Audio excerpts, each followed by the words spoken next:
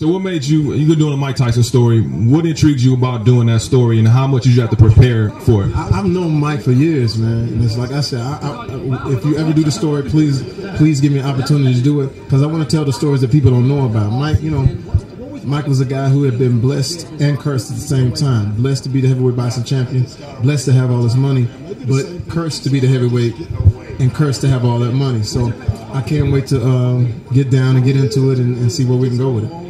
Last thing, you almost didn't come. Chris Tucker, you and Chris Tucker switched limos, man. What happened with that? Man, Chris Tucker got my limo, man. The dude picked him up, thought he was Jamie Foxx. I was like, man, how the hell you think I? But it gave me an opportunity to talk to Chris. Said, man, let's let's get together, man. Do the comedy of comedies, man. So, so it was all good. All right, man. Thanks a lot. Appreciate you.